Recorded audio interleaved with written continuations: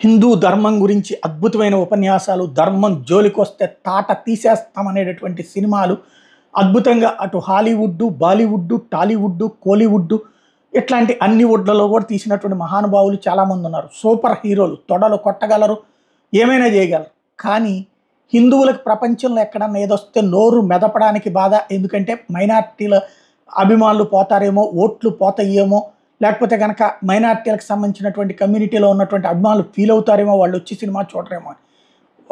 అట్లా ఎందుకు ఫీల్ అవ్వాలా? ఒక తప్పు ఎక్కడ జరిగినా తప్పు అని చెప్పొచ్చు కదా?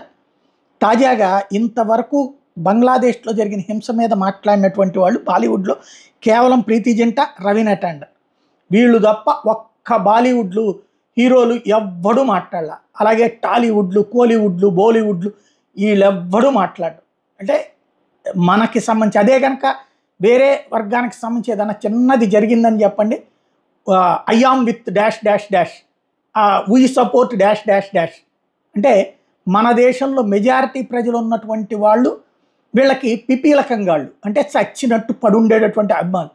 అదే సందర్భంలో ఒక పది శాతమో ఇరవై శాతమో ఉన్నటువంటి వాళ్ళు చూడకపోతే ఏమవుతుందోనని మాట్లాడరు. మళ్ళీ వాళ్ళ కోసమైతే మాత్రం అనుకూలంగా మాట్లాడుకొస్తారు. అదే వింత.